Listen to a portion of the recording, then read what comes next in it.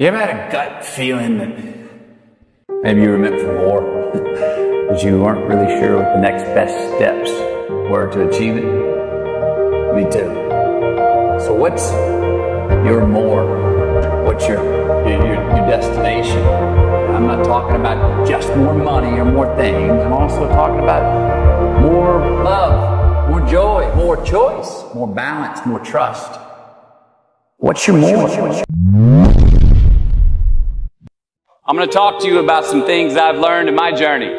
Most from experience, some of them I heard in passing, many of them I'm still practicing, but all of them I do believe are true. Now, they may be truths to me, but don't think that that makes them mine because you cannot own the truth. So please think of these as signposts, approaches, paradigms that give some science to satisfaction.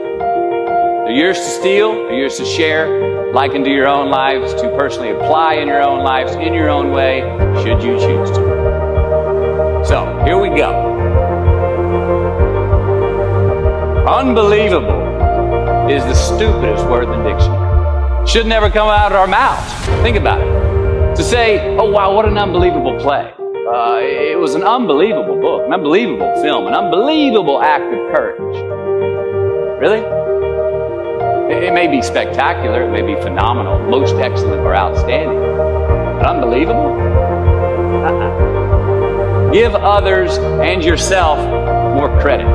It just happened. You witnessed it. You just did it. Believe it. Give your obstacles credit. You know, once you do find your frequency on something, it, go forward if you're a non tyrant and don't ask permission. And that's the not giving a damn part. I've found that the world will actually acquiesce and go, yeah, I'll give you a green light on that if you actually go forward and mean it. And you're going to do it by hook or by crook and not ask permission. Life is not easy. It is not. Don't try to make it that way. Life's not fair. It never was. It isn't now, and it won't ever be. Do not fall into the trap, the entitlement trap, of feeling like you're a victim. You are not. Get over it. Get on with it. And yes, most things are more rewarding when you break a sweat to get them. Sit here in that discomfort long enough to go, okay, until you come out the other side to go, all right, I'm good with me again. I don't want to leave a place I travel to until I get to the point of going, ah, I could live here. This could be my existence. And as soon as I get to that point, then I'm like, okay, you can go. Now I can go. It's the same thing in the personal journeys. Stick with it till you get through these uncomfortable times until you go, you know what? I can spend time with myself. I could do this. I could do this forever. Well, then it's okay to go re engage, pick up your phone, go see your friends, go have a drink, what have you, go look for those things that are, are other relationships in life. But hopefully not until. There's great value in not doing that until you go, I'm good with me and me for right now. So, to any of us, whatever those things are, whatever it is we look up to, whatever it is we look forward to and whoever it is we're chasing. To that I say amen. To that I say, all right, all right, all right. To that I say, just keep living, huh? Thank you. See, happiness is an emotional response to an outcome. If I win, I will be happy. If I don't, I won't. It's an if then, cause and effect, quid pro quo, standard that we cannot sustain because we immediately raise it every time we attain it. You see, happiness demands a certain outcome, it is result reliant. And I say, if happiness is what you're after, then you're going to be let down frequently and you're going to be unhappy much of your time. Joy, though, joy is a different thing, it's something else. Joy is not a choice, it's not a response to some result, it's a constant. Joy is the feeling that we have from doing what we are fashioned to do. It is just as important where we are not as it is where we are. Look, the first step that leads to our identity in life is usually not, I know who I am, I know who I am. That's not the first step. The first step is usually, I know who I am not process of elimination. Defining ourselves by what we are not is the first step that leads us to really knowing who we are. south of New Orleans uh, a few years ago, and I went to a voodoo shop, uh, and they had this this this wooden partition against the wall with these columns, and, and in these columns were all these vials of these magic potions, right? And the headings above each potion, defining what they would give you, were things like fertility, health, uh, family, legal help, energy, forgiveness, money. Guess which column was empty? Money. Let's admit it.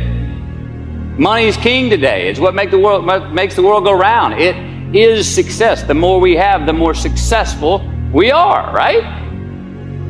Now, I would argue that our cultural values have even been financialized.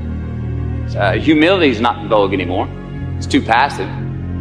It's a get rich quick on the internet, richest 15 minutes of fame world that we live in, and we see it every day. But we all want to succeed, right? So the question that we got to ask ourselves is what success is to us? What success is to you? Is it more money? That's fine. I got nothing against money. No. Maybe it's a healthy family. Maybe it's a happy marriage. Maybe it's to help others, to be famous, to be spiritually sound, to leave the world a little bit better place than you found it. Continue to ask yourself that question. Now, your answer may change over time, and that's fine. But do yourself this favor. Whatever your answer is, don't choose anything that will jeopardize your soul. Prioritize who you are, who you want to be, and don't spend time with anything that antagonizes your character. Don't drink the Kool-Aid, man. It tastes sweet, but you will get cavities tomorrow. All right, life is not a popularity contest. Be brave, take the hill, but first answer that question, what's my hill?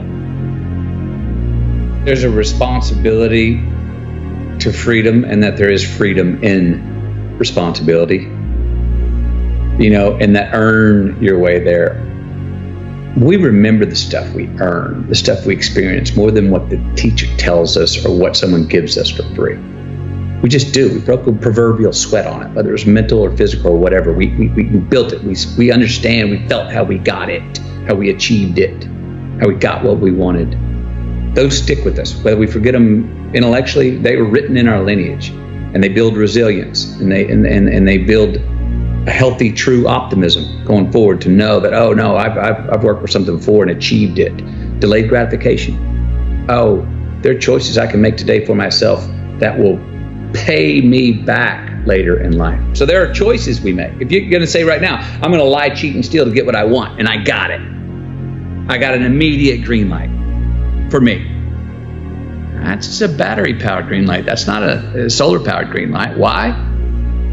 Because now, everywhere I go, I got to look over my shoulder to see if someone's there that I lied, cheated, and stole from. And when I'm doing that, I'm stealing whose time? My time. I'm not free. I don't have the freedom. I didn't create freedom in my future because I chose to be an, make an irresponsible act that I left crumbs.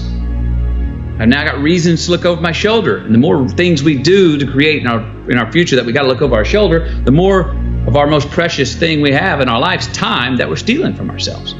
So it's not puritanical. It's just like it's actually self-serving. It's a very selfish choice. And and I'm a fan of the word selfish. I've read, helped redefine it. Um, but I believe that there are selfish choices we can make that are the most selfless. That there are selfless choices that we can make that are the most selfish choices. Those two are not a contradiction, and we see them that way. Responsibility is, is appreciation of a past. It's building of a lineage. It's investing in ourselves. It's investing in something we started to build yesterday that we want to take into tomorrow.